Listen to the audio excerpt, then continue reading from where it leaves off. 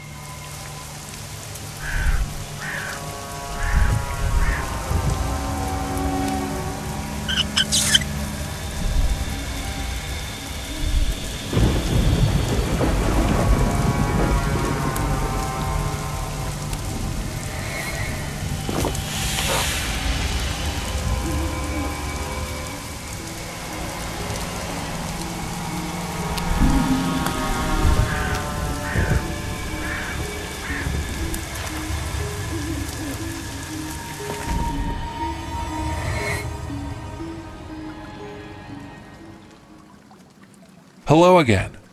Aren't you the daughter of Tom and Jane Anderson? You look a lot like your mother. I've known her since she was a young girl. I even married your parents in this church. The city was shocked when they disappeared along with several other people from the military base. After that, a rumor about a beam coming down from the sky started circulating through town. Do you remember telling that to the government officials? Children are so inventive. Now the kids of this town have turned this church into their playground. They're even throwing darts.